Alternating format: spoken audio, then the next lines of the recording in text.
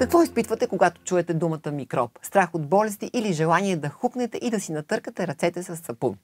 Днес обаче ще излъскаме имиджа на микробите и ще се убедим колко полезна работа за здравето ни вършат те. В последните години гореща здравна тема е пряката връзка между емоциите и здравите черва. Ще я открехнем заедно с моя гост днес в студиото. Казвам добре дошъл на доктор Николай Цонев, гастроентеролог. Здравейте! Много се радвам, че сте ми на гости и че приехте поканата. Нека да започнем с а, обяснението какво точно е микробиом.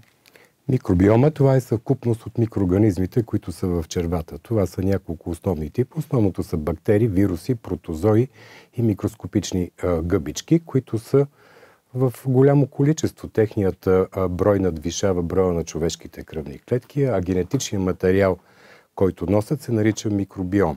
Микробиота е съвкупността от всичките тези организми.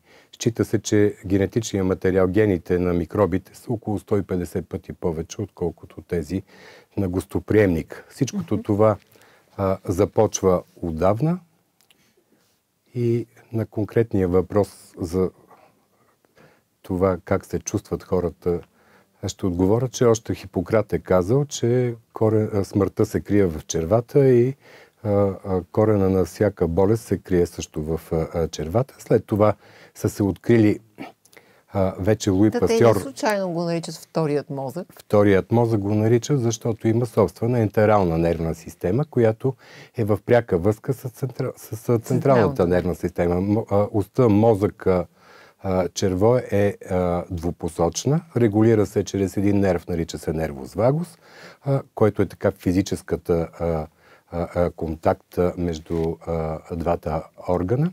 В същото време зависи и чрез невротрансмитери и хормони, които са вече в пряка връзка с, микро, и с микробиома, и с целостта и здравината на лигавичната бариера на червата.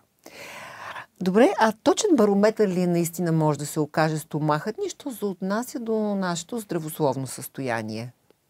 Двупосочна е връзката. Проблеми са от а, а, психиката, стрес могат да рефлектират върху оплаквания от стомашно-чревния тракт. Всички знаят, свиваме корема, когато са подложени на, на стрес, както и наопаки на базата на нервни импулси, на базата а, на невромедиатори, които се секретират и в които участва и, и в голяма а, а, степен ентералната нервна система и микробиотата на, на червата – може да водат до психоемоционал... промени в психоемоционалното състояние, в стрес, в депресия. А, а така наречения с... хормон, да. един от важните неща са двата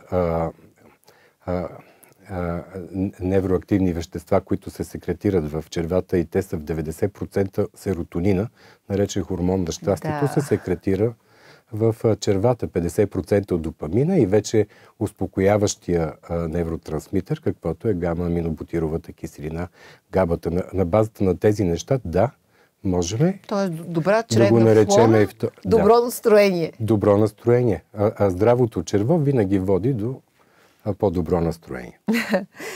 Наистина е така. А, епизода на Попитай лекаря започна с а, а, така изречението, че в цялото ни има повече бактерии, отколкото а, звезди в Млечния път. Дали да. е наистина е така? Предлагам така е. да видим видеото и след да, това ще го коментираме.